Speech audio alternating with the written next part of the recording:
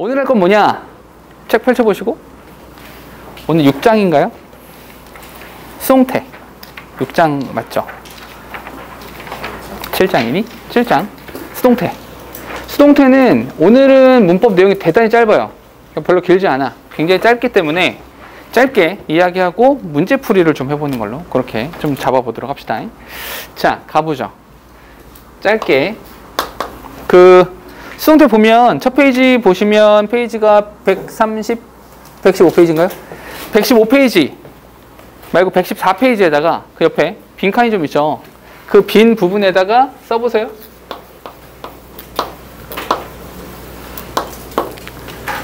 쓸 수 있는 만큼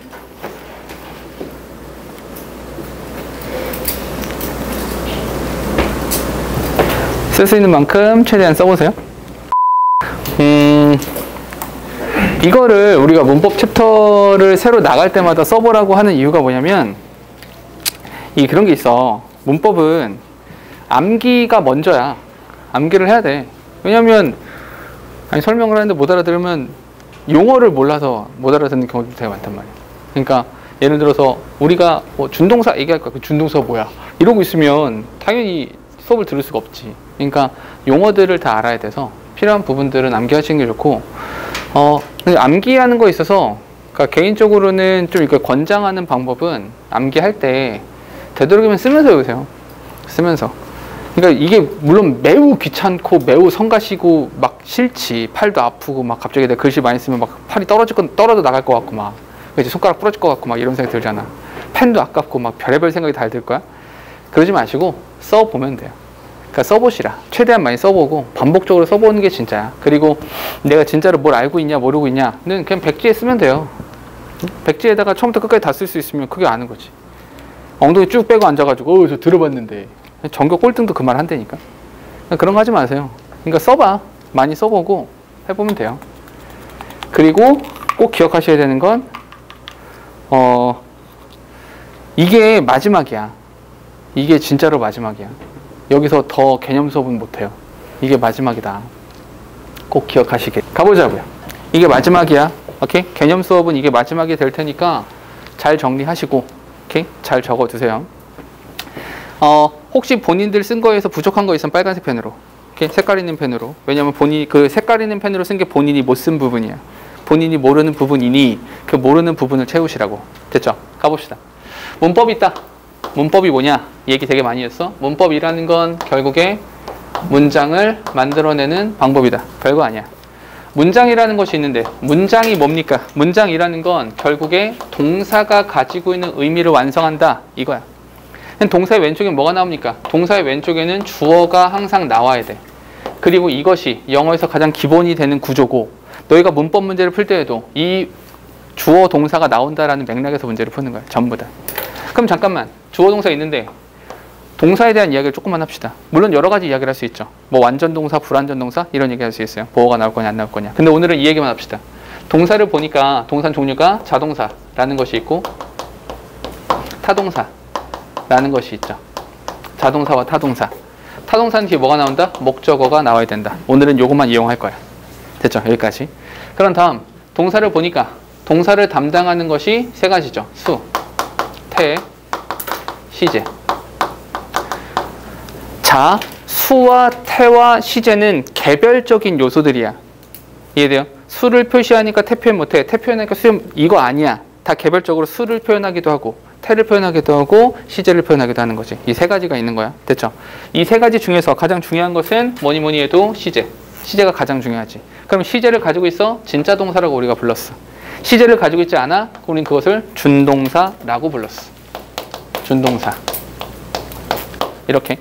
준동사의 정의, 준동사에 대한 정의, 그거는 많이 했으니까 빼도록 할게요. 근데 준동사에는 종류가 세 가지가 있었어. 어떻게 세 가지냐? 첫 번째, 부정사가 있었고, 두 번째, 동명사라는 것이 있었고, 마지막으로는 분사라는 것이 이렇게 있어서 세 가지야. 그런데 여기서 잠깐만 한 가지 추가. 뭘 추가해야 되냐? 이 부정사와 동명사와 분사 이게 문법적으로 세 가지가 있는데 이 세 가지에 공통적으로 들어가는 부분이 있다. 공통점을 찾아보자. 그 공통적으로 할 수 있는 이야기가 첫 번째 의미상 주어. 자, 이거는 너희가 외워서 쓴 친구들이 있을 거야. 대단히 잘했어. 그런데 잠깐만 이렇게 생각해 보자고. 준동사에 대해서도 의미상 주어를 따진다라고 하는 것이 우리가 동사를 봤을 때 그 왼쪽에 주어가 나와야만 합니다와 같은 맥락의 이야기인 거야. 이해돼?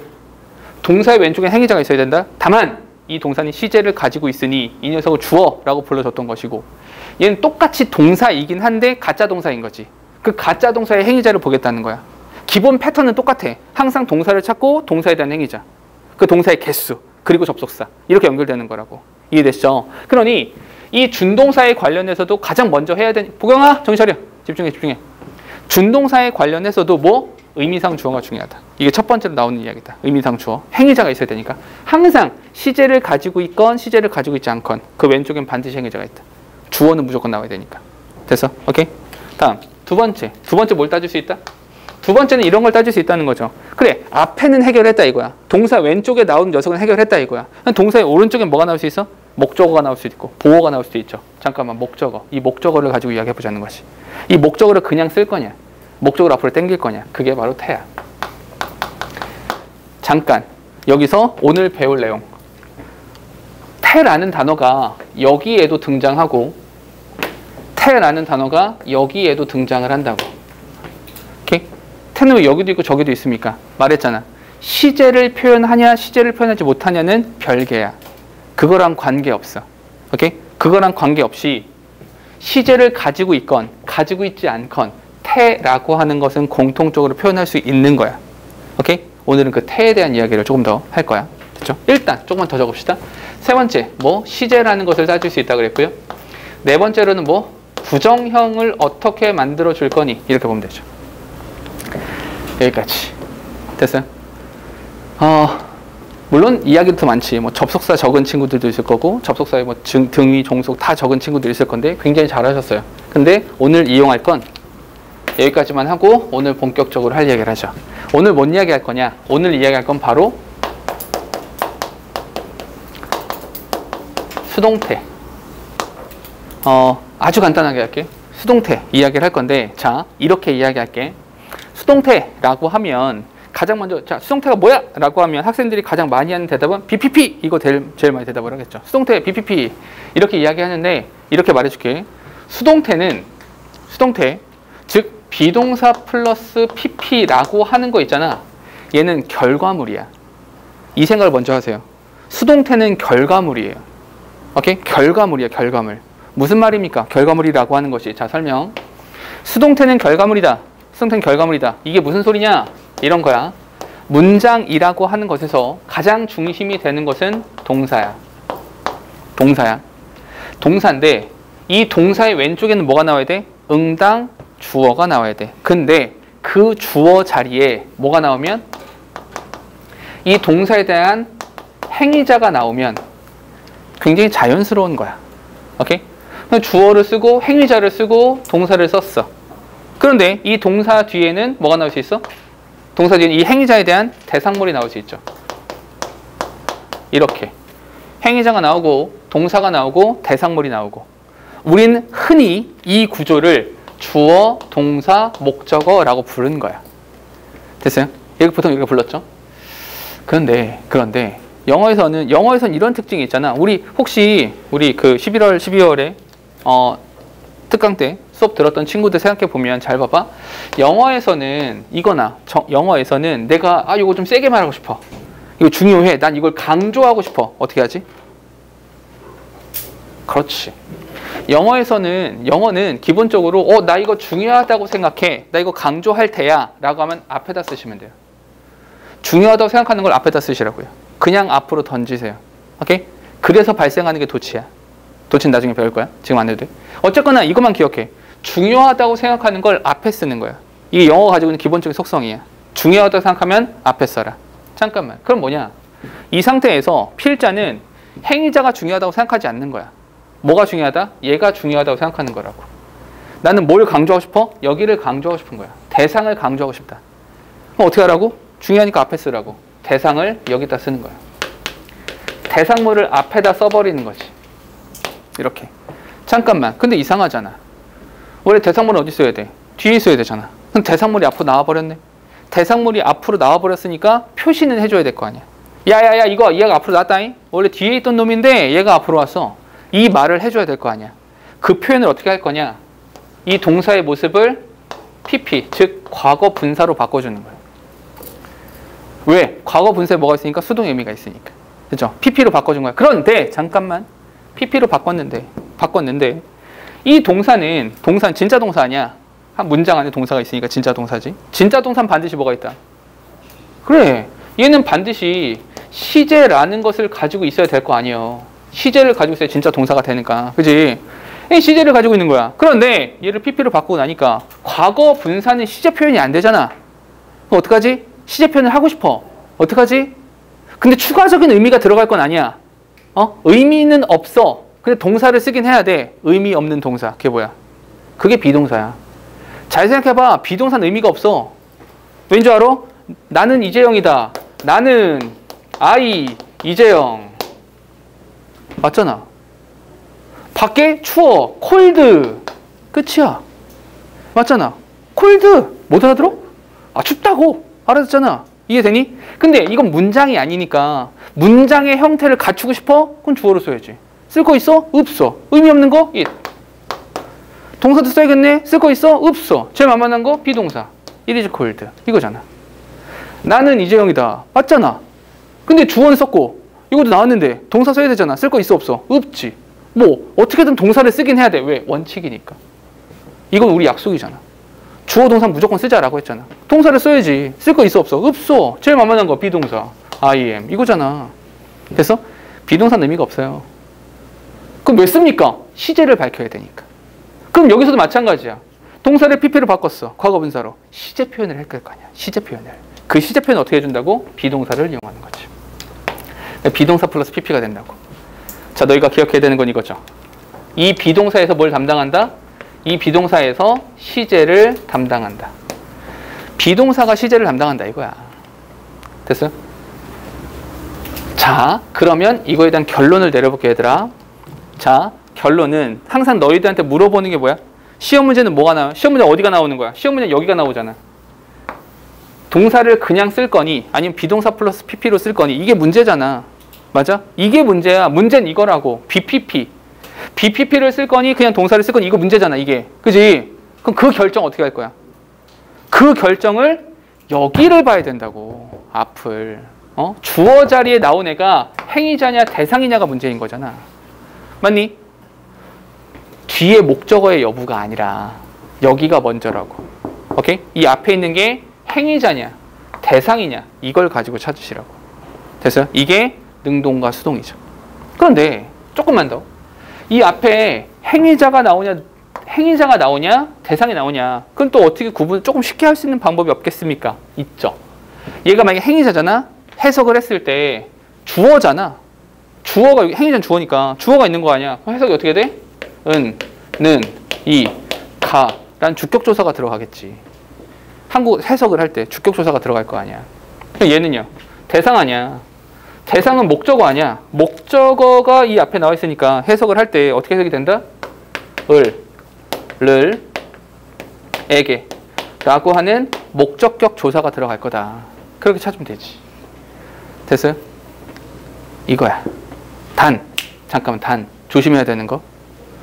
이 동사가 아까 말했던 것처럼 시제를 가지고 있는 진짜 동사일 수도 있는데 시제를 가지고 있지 않은 가짜 동사일 수도 있다고 오케이?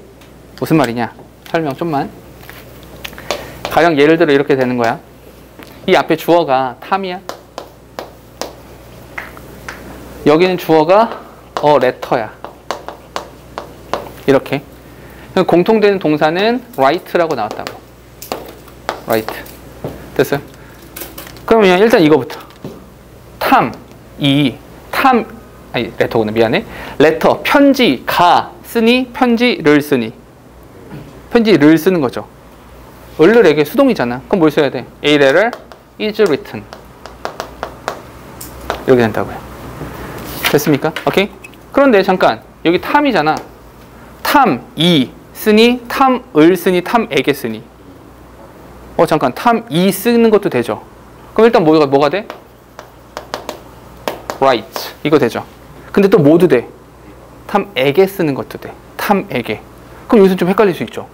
잠깐 잠깐 다시 다시 다시 잘 봐봐. 여기 주어 자리에 나온 애가 정확하게 대상물이다 라고 판단이 될 때는 이때가 되면 그냥 바로 수동을 쓰시면 되죠. 여기 썼어. 그런데 주어 자리에 탐이 나왔단 말이야. 그 탐이 나오는 순간 탐이 쓰는 것도 되는데 탐에게 써준다 이것도 된단 말이야. 이해돼요? 그럼 둘 다 될 때는 어떻게 합니까? 둘 다 될 때는 뒤를 보시라고. 오케이? 둘 다 될 땐 뒤를 봐라. 오케이? 뒤에 만약에 Tom이 있고 write가 있고 여기에 Jane a letter 이렇게 나와 있다면 이렇게 나와 있다면 Tom이 Jane에게 letter를 쓰는 것이지. 그럼 여기서 Tom write라는 형태가 바로 나오시겠지. 근데 그건 이제 경우의 수를 좀 따져봐야 된다라는 거죠. 그런데 어쨌거나 중요한 건 앞에 주, 주어와의 관계를 보셔야 된다. 잠깐 다시 다시 다시 다시 결국 능동의 형태를 쓸 것이냐 수동의 형태를 쓸 것이냐는 어딜 봐라? 앞에 주어. 그 주어 자리에 행위자가 나왔냐 아니면 대상물이 나왔냐 요걸 가지고 찾으시라. 됐어요? 그런데 지금 이거는 아까부터 계속 말했지만 지금 이 경우는 시제를 가지고 있는 시제를 가지고 있는 진짜 동사에 대한 이야기 아닙니까? 그죠? 근데 시제를 갖지 않은 가짜 동사도 있을 거 아니에요. 그지? 보자고. 그녀가 is proud of. 그녀가 자랑스러워요. 그녀가 자랑스러워. 자랑스러워.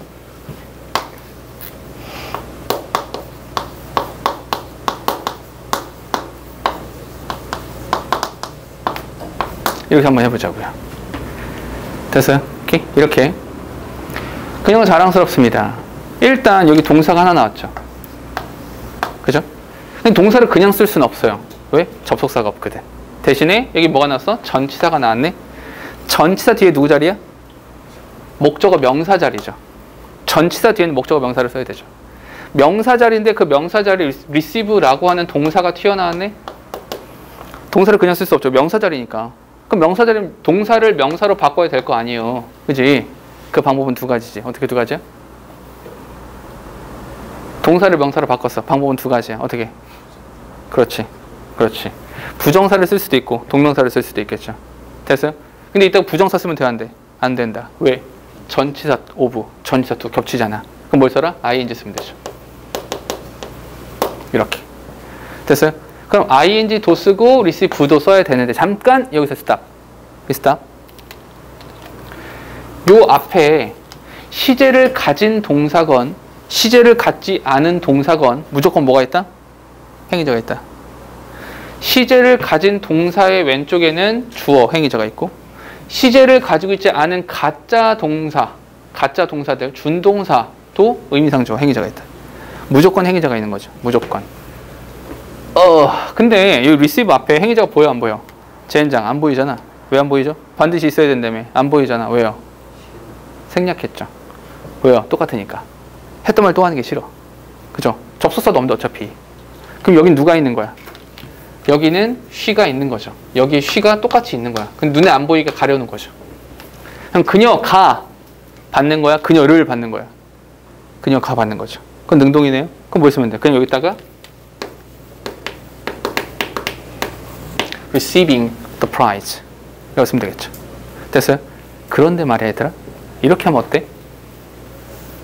여기 receive를 쓰면 여기 receiving을 쓰면 되잖아. 근데 단어를 바꿔볼게. 기부를 써봅시다. 기부. 됐어요? 그럼 여기서 어, 똑같이 한번 해볼게. 그럼 기부를 바꿔가지고 ing를 써야 되는데 이 앞에 행위자가 없어서 여기 뭐가 있다? 쉬가 있다. 그럼 그녀 가 주는 거야? 그녀에게 주는 거야? 그녀에게 주는 거겠죠. 그녀가 준다고 하면 그녀가 상을 줘 누구한테? 안 나오잖아. 이해됩니까? 오케이? 다시 다시. 기부라는 단어로 생각을 해보면 그녀가 준다. 그녀가 준다. 상을. 근데 하나가 부족하죠. 뭐 누구한테 줬는데? 아 기부는 두 개 나와야 되잖아. 누구에게 뭐뭐를 준다 이렇게 나와야 되잖아.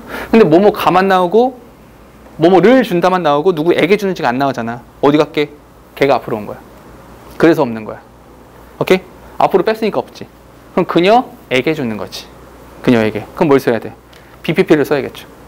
여기다가 비동사 플러스 PP를 쓰고 전치사 뒤니까 ing 도 쓰고 누굴 이용해서? 기부를 이용해서. 세 개 다 합쳐봐. 그럼 뭐가 돼? being given이라는 형태가 된다는 거지. 됐습니까? 결론. 결론. 결론적으로는 어차피 모두 그 시제를 가지고 있건 시제를 가지고 있지 않건 뭐 태라고 하는 것을 표현할 수 있다. 뭐는 문제가 아니다. 시제를 가졌다, 가졌, 가지지 않았다. 이건 문제가 아니다. 그럼 뭐가 관건이다? 관건은 딱 하나다. 뭐? 얘가 있냐? 얘가 있냐가 더 문제인 거야. 그러니까 애시당초에 수동태는 결과물이라고 했잖아. 그 결과가 나오기 위해선 목적어, 대상물을 앞으로 빼야 되거든. 시제가 있는지 없는지가 중요한 게 아니라 대상물이 있어야 되거든. 근데 우리 이런 거 있잖아. 이 동사를 보니까 타동사는 목적어가 정확히 존재하잖아. 근데 만약에 자동사라면 자동사는 H당초에 목적어 자체가 없잖아. 그럼 자동사를 가지고는 앞으로 땡길 애가 없다. 앞으로 땡길 애가 없으니까 이런 결과물을 만들어낼 수 있다 없다? 없다. 그러니 자동사를 가지고는 BPP를 만들 수 없다. 자동사는 수동이 없다. 이렇게 된다는 거죠. 됐습니까? 마지막으로 한 가지. 자동사. 자동사는 비동사 플러스 PP라는 형태로 만들 수 없다. 이건 거죠. 됐습니까? 이게 끝이에요. 이게 다야. 이게 전부 다 한 거야. 수동태는 이게 다예요. 근데 이런 게 있을 거예요. 아마 조금 궁금한 게 아마 이런 게 있을 거야. 근데요. 어떤 동사를 봤을 때 이게 자동사인지 타동사인지 구별이 되면 참 좋겠죠. 그잖아. 어, 딱 보자마자 어 얘는 자동사야. 어, 어차피 BPP 안 돼. 이렇게 될 거 아니야. 그죠? 근데 그 구분을 하기가 사실 쉽지 않아요. 현실적으로는 이제 외국어 화자들, 영어를 모국어로 하는 것이 아니라 외국어 화자들이 이것을 딱 보자마자 눈치채기는 불가능에 가까워요. 원어민들만 아는 거거든. 근데 알 수는 없어요. 다만, 다만 이런 건 있죠. 내가 해줄 수 있는 건 그럼 그걸 알아챌 수 있는 원어민의 능력을 너희한테 알려주마. 그럼 나도 갖고 싶다야. 나도 없어. 그럼 어떻게 하냐? 시험에 뭐가 나올 거냐? 시험에 자주 나오는 거 말면 되는 거 아니야? 어차피 우리가 지금 배우는 건 얘들아 잘 생각해봐. 우리가 지금 배우고 있는 건 영어가 아니에요. 외국어로서의 영어를 배우는 게 아니야. 오해하시면 안 돼요. 어? 우리가 지금 하는 거 내가 너희들한테 해줄 건 이거야. 나랑 수업 열심히 해가지고 와, 공부 열심히 하고 와 대상물이 앞으로 났어. 저저 이런 얘기하면 영어를 잘하게 됩니까? 말을 잘하게 돼요? 외국인과의 대화가 가능해? 아니야. 애시당초에 나는 그런 사람이 아니야. 그걸 너희들한테 해주려고 하지도 않아. 그걸 원치도 않고 그걸 바라지도 않아. 그럼 내가 해줄 수 있는 거 뭐야? 그냥 너희가 사회 시간에, 국어 시간에, 과학 시간에, 수학 시간에 배우는 것처럼 배워서 점수를 따라고. 내가 해주는 건 그거야. 점수를 따라고. 어? 어떤 게 시험에 나오는지 알려줄 테니까 그걸 가지고 점수를 받으시라고. 문제를 푸시라고. 과목으로 접근하시라고. 어? 외국어 능력 그런 거 몰라 나는. 그냥 점수를 받아. 그러면 돼. 그게 우리의 목표야. 알겠죠? 그럼 봐봐. 시험에 나오는 게 뭐냐? 시험에 뭐가 나오냐? 뭐가 자주 나와? 이게 자주 나오지. appear, disappear. 얘가 자주 나와. appear, disappear. 오케이? 얘가 자주 나올 수밖에 없지.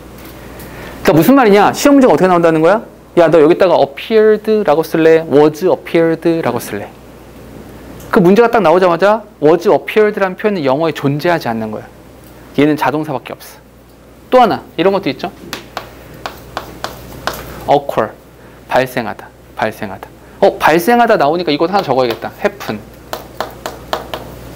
그럼 잘 생각해봐. 야 무슨 일이야? 어떻게 씁니까? 그냥 what happened 이렇게 쓰죠. what happened. what is happened 이런 표현 존재하지 않아요. 그런 게 없지 자동사인데. 하나만 더. 요거 꼭 기억하세요. consist of. consist of. 요거는 왜 내가 특별히 기억하라고 하냐면 consist of는 무슨 뜻이니? 뭐뭐로 구성되어 있다 이 뜻이야. 뭐뭐로 구성되어져 있다. 이 뜻 자체가 구성되어 있다야. 이걸 왜 외우라고 하냐면 참고로 뭐뭐로 구성되어 있다.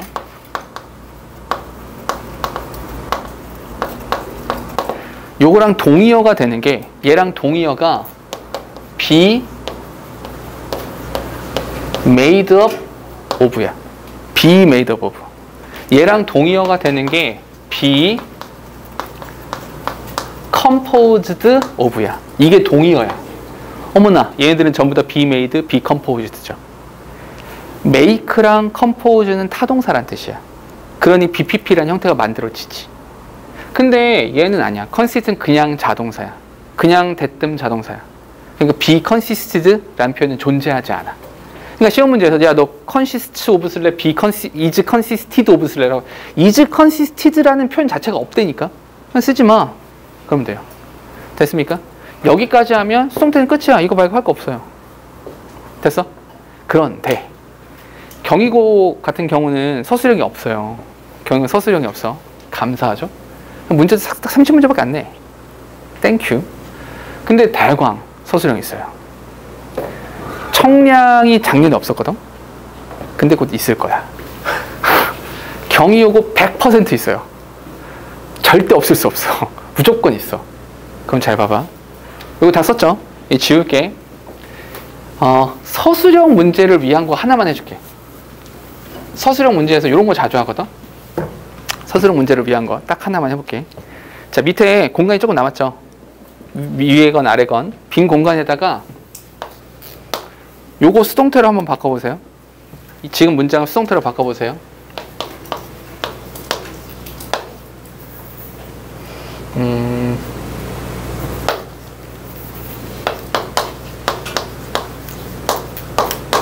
핑크라고 합시다. 미안해. They think that 그들은 생각합니다. Tom loves Jane. 이렇게. 자, 수동태 문장으로 바꿔보세요. 자, 보세요.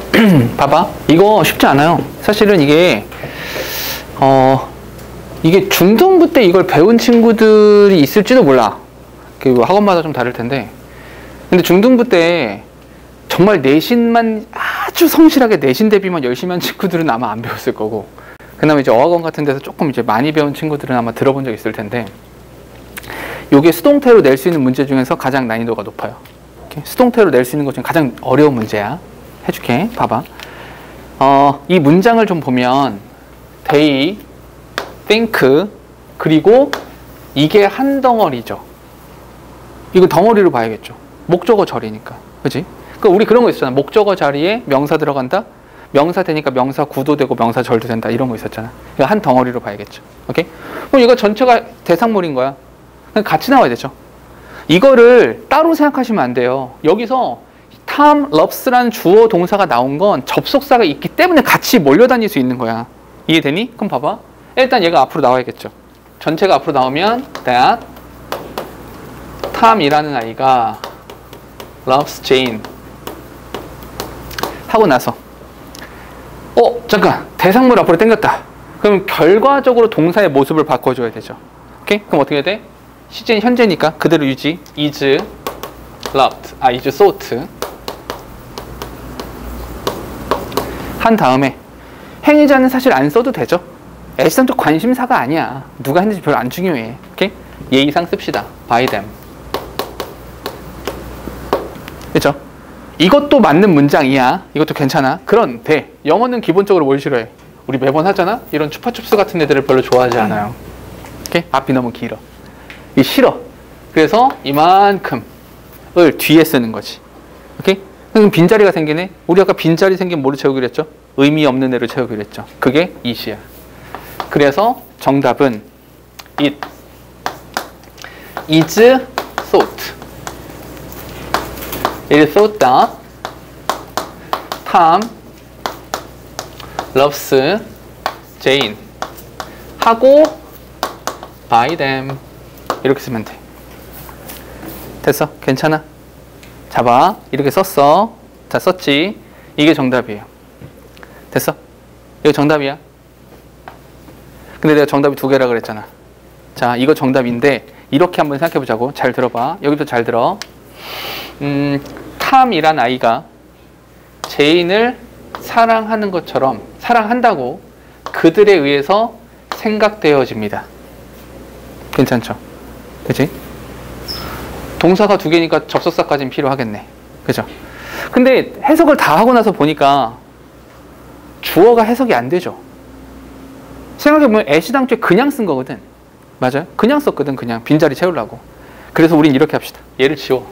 그냥 지워버려. 어차피 의미도 없는데 뭐. 쓰지 마. 지워버려. 지워버리고 나서 생각하니까, 곰곰이 생각하니까, 아, 주어 자리가 너무 비면 안 되잖아.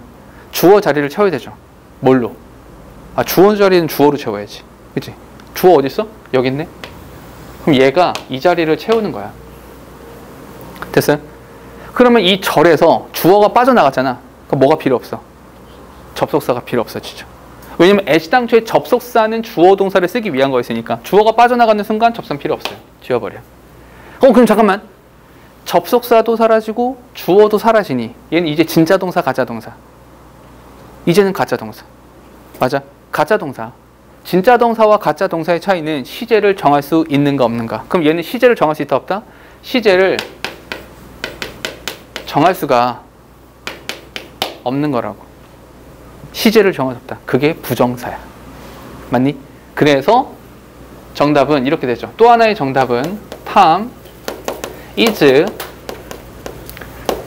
thought 한 다음에 to love Jane by them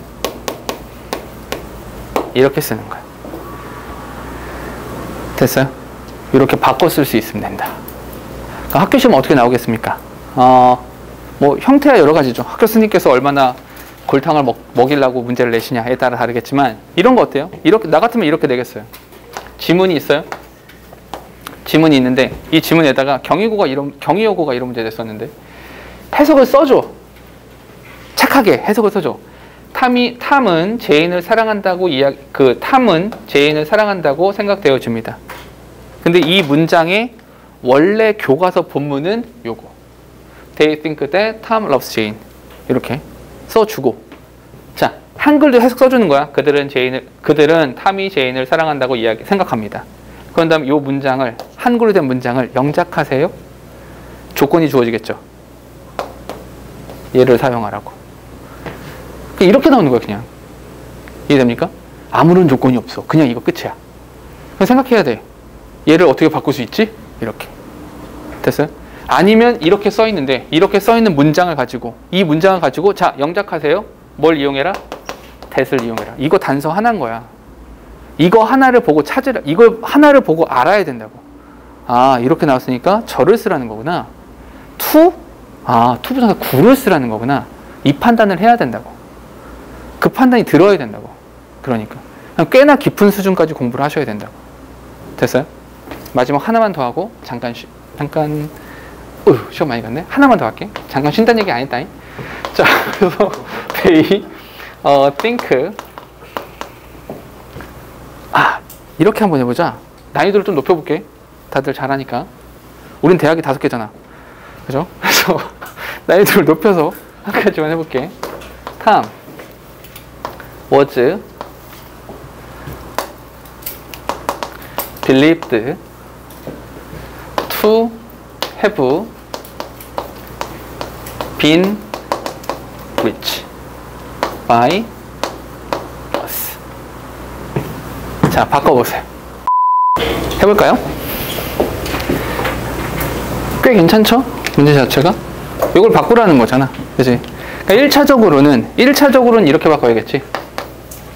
It was believed that Tom 오케이? 한 다음에 어 잠깐.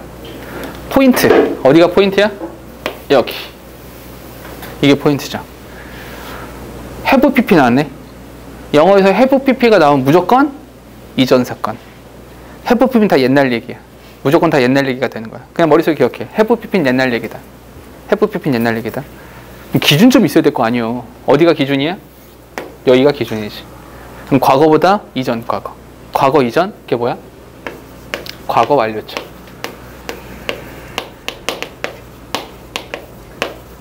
이렇게 쓰는 거지. 됐니? 그런데 그런데 여기서 이거는 이제 수동으로 쓴 거니까 능동으로 쓴다면 누가 우리는 뒤에는 그냥, 그냥 쓰시면 되죠. 이렇게 써주시면 되겠죠. 포인트가 되는 건 여기에요. 2FPP. 어떤 거? 준동사의 시제. 이렇게 연결되는 거죠. 됐어요? 오케이? 요거. 요걸 보고 기준점이 과거니까 과거보다 이전 과거, 과거 완료다. 여기까지 연결될 수 있으면 되죠. 됐어요? 이렇게 되면 난이도가 되게 높은 거예요, 사실은.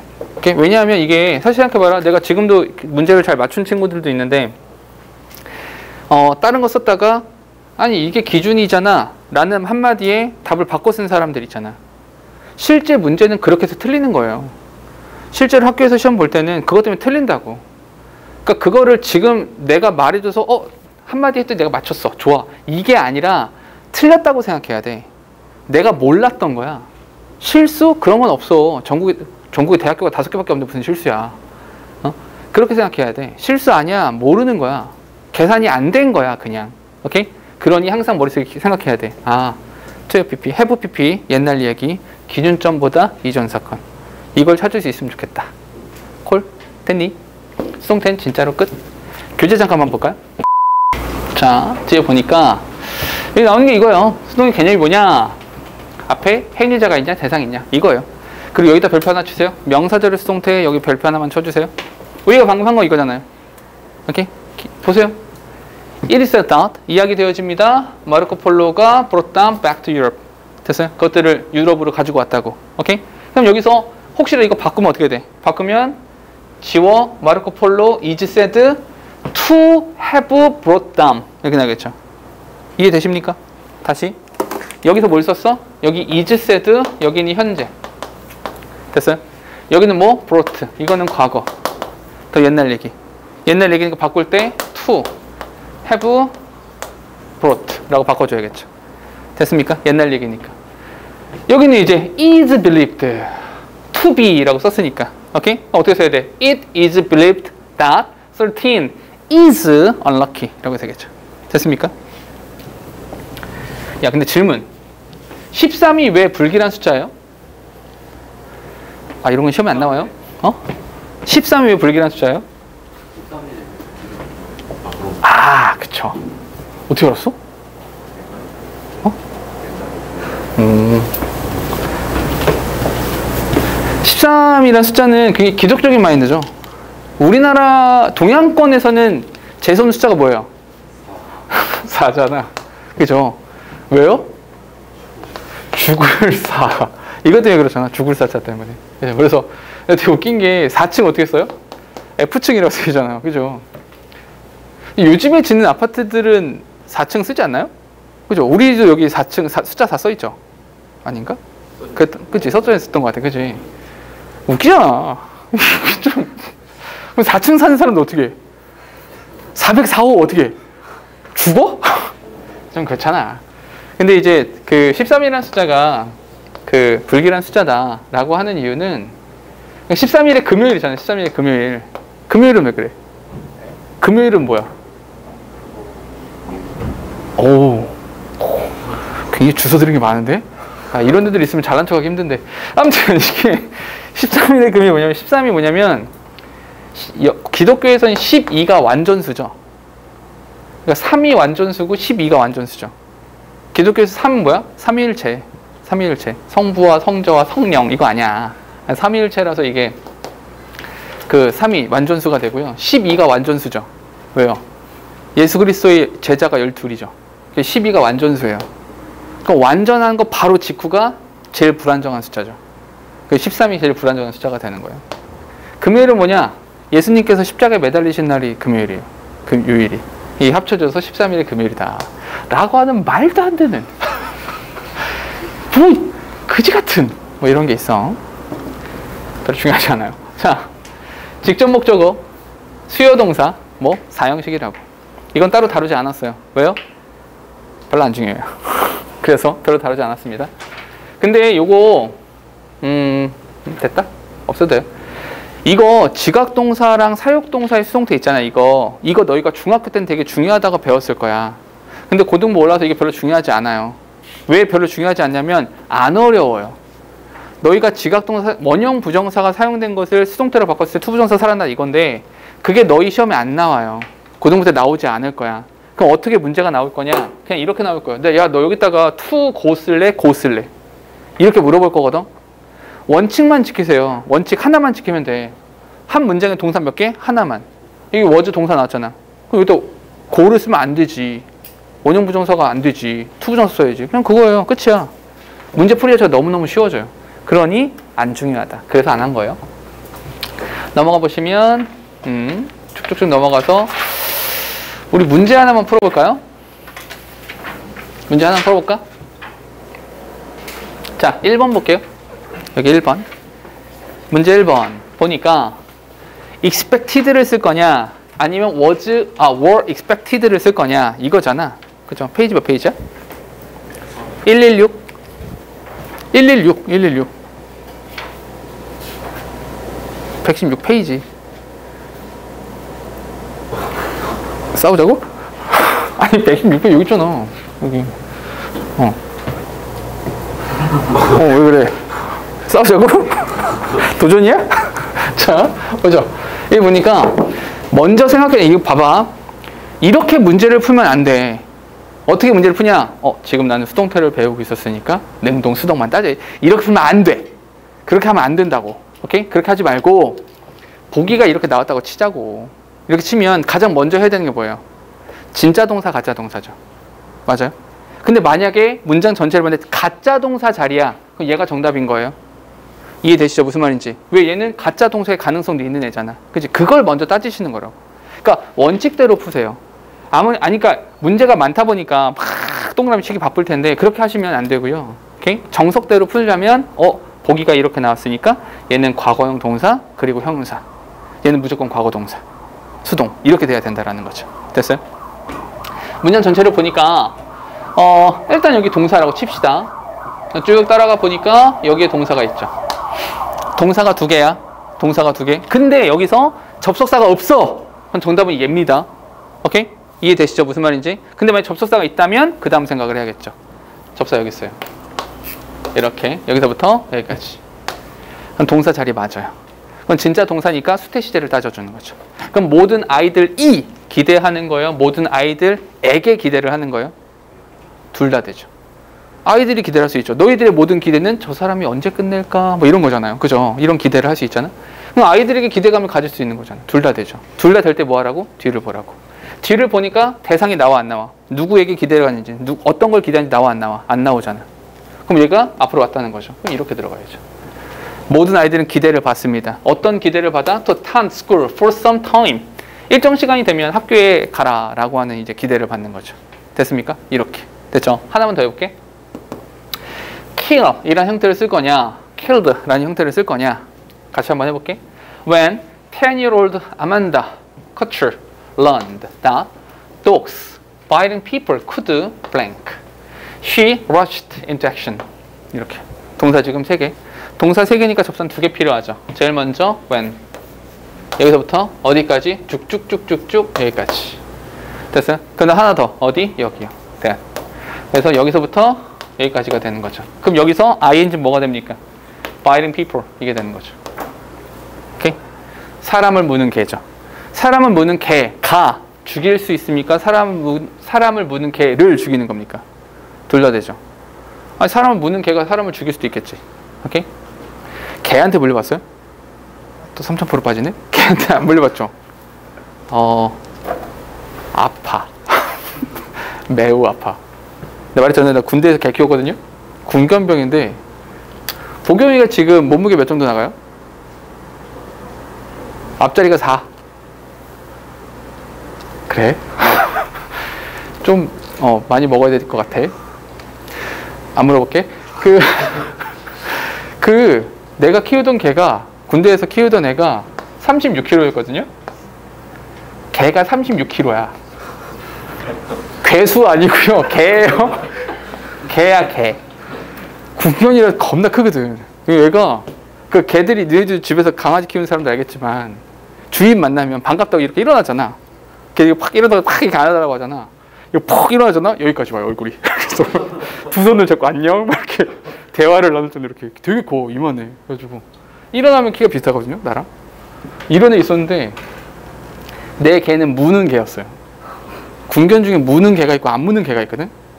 어, 무는 개가 겁이 많을까? 안 무는 개가 무- 겁이 많을까? 무는 개가 겁이 많아요. 지가 무서워서 무는 거야. 그러니까 겁 없는 애들은 덤벼. 이거야. 덤벼. 뒤지고 싶으면 이거거든. 이내 걔는 겁이 많아가지고 무는 개였어. 얘한테 얘가 좀 늙어가지고 누굴 알아보냐면 어 그 군견을 치료하는 의사가 있을 거 아니야. 이게 군의관 말고 수의관이 있어요. 그러니까 동물들을 보살피는 군의 군의 장교가 또 있어. 그 사람을 알아. 그래서 거기 주사 맞으러 갈 때부터 난리가 나. 막 거품 물어 진짜 막 거품 물고 막 도망가려고. 그래서 입마개 하고 막 이렇게 하고 걔 주사 어떻게 맞추냐면 36kg짜리 애잖아. 얘를 어 주사 맞으렴 자 엉덩이 토닥토닥 이 절대 이런 건 없어요. 어떻게 하냐면 이 목줄 있잖아. 이 목 이렇게 헤드락을 걸어서 얼굴도 겁나 커 이만해. 그래서 헤드락을 걸어서 이렇게 이렇게 멱살을 잡아. 여기를 잡고 내 꾹 끌어안고 있는 거 이렇게 꾹 끌어안고 있으면 그 수의관이 몰래 와야 돼 뒤에서. 근데 다 알아. 그래서 뒤에서 다가오는데 난리 나거든 진짜. 막 진짜 발버둥 치거든요. 근데 입마개까지 하고 멱살 잡고 개줄 잡고 막 이러고 있는데 뒤에 가지고 엉덩이에다 주사 쪽 놔야 되잖아. 근데 다가 그 발자국 소리가 다가올수록 이 아이의 발버둥이 심해지거든. 진짜 힘써요. 36kg야. 진짜 있는 힘껏 지랄 발광 아 이거 하면 안 되는데 그 발광을 하다가 입마개가 뜯어진 거야. 군견이자 또 얘네는 나름 맨날 산에서 뛰어다니는 애들인데 힘도 겁나 세. 막 입마개 풀어진 거야. 나 놀라 어 놀라가지고 어 했는데 어 하는 순간 내가 목줄을 놓친 거야. 목줄을 놓치는 순간 그 얘, 얘네들한테 가죽 장갑을 껴야 되거든요. 실제로 무니까 얘가 내손빡문 거야. 근데 팍 무는 순간 나랑 눈이 마주쳤어. 놓더라고 이렇게. 정신을 차려 어 주인이네? 그래서 놓더라고. 그래서 물려가지고 되게 아파. 한, 팔 전체가 저려 막 진짜로 아파요. 군대에 있는 걔들이 셔퍼트거든. 저만 셔퍼트. 싸움도 겁나 잘해. 되게 아파. 그래가지고 나는 다행히 장갑 끼고 있어가지고 이렇게 찢어지진 않았는데 그 혹시 너희가 풀려 있는 개가 위험합니까? 묶여 있는 개가 위험합니까? 묶여 있는 개가 위험해요. 풀려 있는 개는 그냥 가만히 있잖아. 먼저 공격하지 않아. 근데 묶여 있는 개들은 어떤 생각을 하냐면 뒤에서 목줄이 당기잖아. 얘네들은 이거 어떻게 생각하냐면 어, 내 뒤에 주인이 있어. 난 뒤에 든든한 백이 있어. 이 생각을 해요. 그래서 물어. 그 집에서 강아지 키우니? 집에서 강아지 키우는 사람들 제발 니 이런 이거는 국룰이지. 집에서 강아지를 키우는 사람 모든 사람의 국룰은 이거지. 날 봐. 이거잖아. 개와 대화를 시도하잖아. 근데 잘 생각해봐. 강아지 이렇게 놓고 눈 마주치면 개들이 어떻게 해요? 눈을 피해요 이렇게. 왜냐하면 개들한테 눈을 마주친다. 무슨 뜻이야? 싸우자. 이 뜻이야. 개들은 눈을 마주치면 안 돼요. 그래서 묶여있는 개랑 눈이 마주치면 조용히 눈을 까세요. 눈을 깔라고. 근데 내 개가 묶여 있었거든. 훈련 나가가지고 산에 묶여 있는데 내 친구가 동기 어떤 애가 지나가다가 내 개랑 내개 이름이 캐리였거든. 캐리랑 눈이 마주친 거야. 내 친구의 증언으로는 정말 딱 그렇네. 눈이 딱 마주치는 순간 어? 이 느낌이 온대. 어? 나 물린다. 그 순간 문대. 그래서 여기, 손바닥 전체 이게 찢어져가지고 물려가지고 찢어져가지고 병원 실려가고 막 그랬었는데 아무튼 미안해 쓸데없는 얘기했어. 이런 이 개가 죽일 수도 있고요. 개가 죽임을 당할 수 있죠. 오케이? 뒤에 뭐가 없어? 행위자가 없다고요. 그럼 뭐야? be killed 이렇게 됐습니까? 별로 어렵지 않죠? 그러니까 해주고 싶었던 이야기는 뭐냐면 능동이냐 수동이냐를 했을 때 일단 먼저 앞에 있는 주어와의 관계를 따지시고 둘 다 될 경우에는 뒤를 봐라 이렇게 이 순서대로 문제를 풀어주시면 된다 자 뒤에 한번 가볼까요? 문제 쭉쭉쭉 풀어오시면 되고요 어 이게 뒤에 보면 완료형 수동태, 진행형 수동태, 군동사의 수동태 뭐 이런 것들 나오는데 사실 별거 아니에요 별거 아니고 이거 하나만 기억해 잘 봐 이거 하나만 기억해 여기다가 이거 하나만 필기하시면 돼요. BPP. 여기에 시제가 있다고요. 요것만 기억하시면 돼요. 그 비동사가 시제를 담당한다고요. 비동사가. 그럼 잠깐만. 어, 예를 들어서 문장이 이렇게 나온다고 치면 어떨까요? He has finished the work. 그가 그 일을 끝마, 끝마쳤습니다. 라고 했어. 근데 얘가 앞으로 올 수 있는 거잖아요. 그럼 뭐 하면 돼? 그냥 BPP를 쓰면 돼, 결과물로. 다만, 비동사 부분에다 뭘 더하면 돼? 여기다가 have PP를 더하면 되는 거지. 비동사에서 시제를 담당하기로 했으니까. 그럼 산수처럼 더하기를 하세요, 그냥. 그냥 have는 그냥 쓰면 되죠. 비동사 내려오다 PP 만나죠, 빈. 쓰고 PP 쓰면 되죠. 뭐. 그래서 have 빈 PP. 이렇게 만들어지는 거죠. 너무 간단하잖아. 진행시는 어떡합니까? 여기다가 뭘 더하면 돼? 여기다가 BING를 더하세요. 그럼 뭐가 돼? be 쓰고요. 비동사 내려오다 ing 만났네. be, being, pp. 이거죠 뭐. 뭐가 어렵겠어. 아주 간단해요. 그냥 비동사에서 시제를 담당한다. 이것만 알면 별건 없어요. 됐니? 다음. 어, 군동사가 뭐냐? 군 동사가 뭐냐면 그 여기 있는 남학생들 곧 가게 될 곳이 군이야. 그래서 이제 군 동사가 뭐냐? 걔는 몰려다니거든. 같이 다녀야 되거든. 오케이? 곧 갈 거야. 얼마 안 남았어. 올해 월드컵 있죠? 그죠? 너희 다음 월드컵 군대에서 봐요. 잘해봐. 다음 월드컵은 군대에서. 어우. 토하겠다. 자, 그래서 덩어리가 다니는 거니까 그냥 덩어리는 덩어리로 같이 다닌다. 라고 생각하시면 돼요. 애시당초에 take care of가 한 덩어리잖아. 그러니까 그냥 덩어리로 같이 다니는 거예요. deal with가 한 덩어리잖아. 그러니까 떼지 말고 덩어리로. 오케이? 덩어리는 덩어리를 취급한다. 끝이에요. 별로 어려운 건 없어요. 다음. 어려운 건 너희가 입대를 한다는 게 어렵죠. 자, 다음. 간단해서 다음에 요거, 아, 요거는 수동태 3번으로 가보세요. 수동태 3번으로 가면 요거는 전치사에 따라 의미가 달라지는 거 이렇게 있는데 얘는 그냥 읽어보고 외우시면 돼요. 오케이? 별로 그렇게 의미 있지 않아요. 되게 뭐 중요한 것처럼 보이는데 아니야.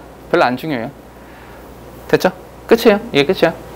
뭐 별로 중요하지 않아요. 뒤에는. 그냥 이거는 근데 이런 거 있죠. Men are known. 이건 뭘 써야 돼? 아 이런 거 하나 재밌겠다. Known 같은 경우는 뒤에 나온 전치사가 여러 개죠. 우리 중학교 때 많이 배웠죠. known. 이건 뭘 써야 돼요? 여기는 known by 쓰는 겁니다. Men are known by the company keeps. 그가 유지하는 회사? 여기는 회사가 아니라 동료. 동료. 그게 그가 유지하는 동료에 의해서 알려진다. 친구를 보면 그 사람을 알 수 있다. 이 말인 거죠. 됐죠? 여기는 A Nightingale is known 어, 아름다운 노래로 유명하다. Be known for. Be famous for. 이거랑 똑같은 거죠. It is a fact which is known. 어이구, 에이, 이런 바보 같으라고. to예요. 자, to everybody. 이렇게 모든 사람들에게 알려져 있는 거예요. 답이 나와버렸네. 이런. 자, she known as a pop singer. 팝 싱어로서 알려져 있습니다. 이런 식이에요. 됐죠? 그러니까 뭐뭐로서 이런 정도 의미가 되는 거다. 됐죠? 그러니까 known 같은 경우 뒤에 전치사 여러 개 나올 수 있는데 그 전치사에 따라서 의미가 달라진다. 이 생각하시면 됩니다. 별로 어렵지 않아요. 다음. 음. 아, 그, 아 잠깐. 이거 넘어가기 전에 너희 이거는 다 알잖아요. 어, 어디 어디에 만족하다. be satisfied? 어머나? 애시야? 어 그래. 방금 죽을 뻔한 거야? 어. 몸으로 덮여있다. Be covered? 뭐 어디 어디 기뻐하다. Be pleased? With. 야 문제를 눈치로 풀어 surprised at 뭐 이런 거 있잖아 그지 그건데 아, 한 가지만 적어드릴까요 요거는 뭐 나중에 독해할 때 써먹을 수 있으니까 be made라는 표현 있잖아요 be made. be made 뒤에는 전치사가 3개 나옵니다. 아, 총 4개 나오겠다. 4개 나올 수 있는데 뭐냐? 첫 번째 be made by 하면 이 by 뒤에 뭐가 나옵니까? 행위자가 나오면 되죠. 행위자. 이 사람에 의해서 만들어졌습니다. 오케이? 그 made 다음에 of가 나올 수도 있고요. from이 나올 수도 있죠. 우리 독해할 때 많이 했잖아. 그지? of는 뭐예요? of는 물리적인 변화. 물리적인 변화를 나타낼 때 오브라는 형태를 쓰고요. from은 화학적인 변화를 나타낼 때 from을 쓰는 겁니다. 오케이? 근데 재밌는 거 하나 있는데 be made 다음에 into라는 표현을 쓸 수 있어요. into, be made into. 기억하세요. into는 항상 뭘 나타내? 상태의 변화를 나타내요. 상태 변화. 그래서 made into 뒤에는 결과물이 나오게 돼요. 이렇게 결과물. 그래서 milk, 우유, milk is made. 우유는 만들어집니다. into cheese 이렇게 되는 거죠. 오케이? milk is made into cheese 이렇게요. 됐죠? 이렇게. 어, 다른 건 별로 어렵지 않을 겁니다. 뒤에 문제는 쭉 풀어오시면 되고요. 간단 간단해요. 뒤에는 쭉쭉쭉 가서 유럴 테스트까지 풀어오시면 됩니다. 여기 끝까지 풀어오시면 됩니다. 되셨죠?